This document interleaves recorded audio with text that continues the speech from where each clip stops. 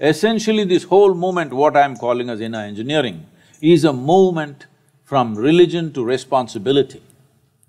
This is where we need to go. That every human being who sits here is responsible for who the hell they are and who the hell they're not.